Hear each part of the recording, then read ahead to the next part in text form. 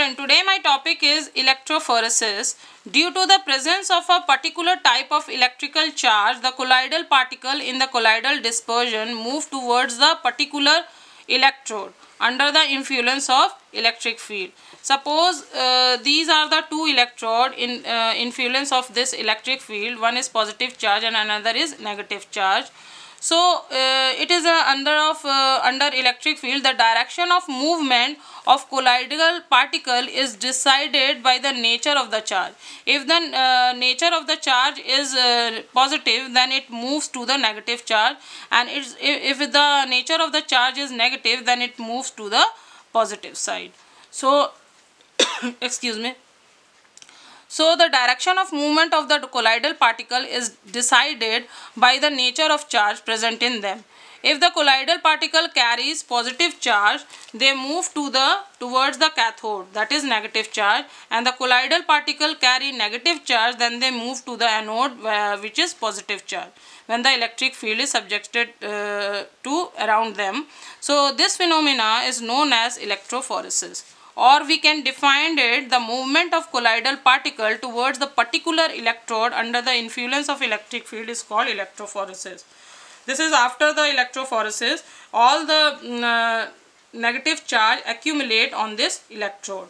This is the before the electrophoresis. No charge is there but after the applying we, we have negative charge accumulated on the positive charge or positive electrode.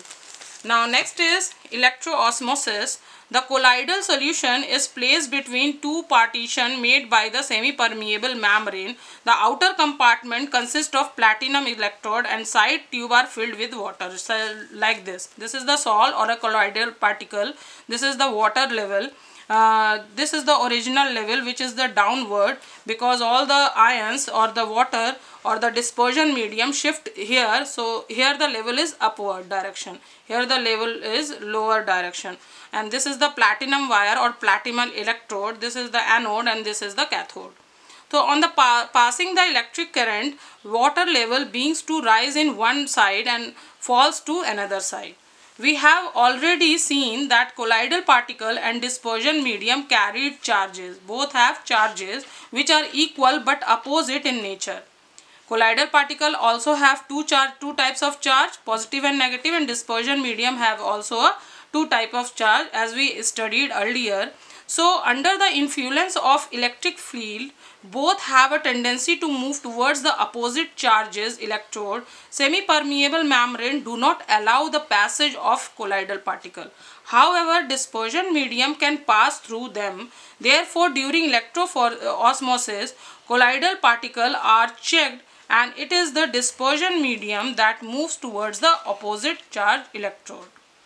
Now my question is for today, what is electrophoresis and what is electroosmosis? Thank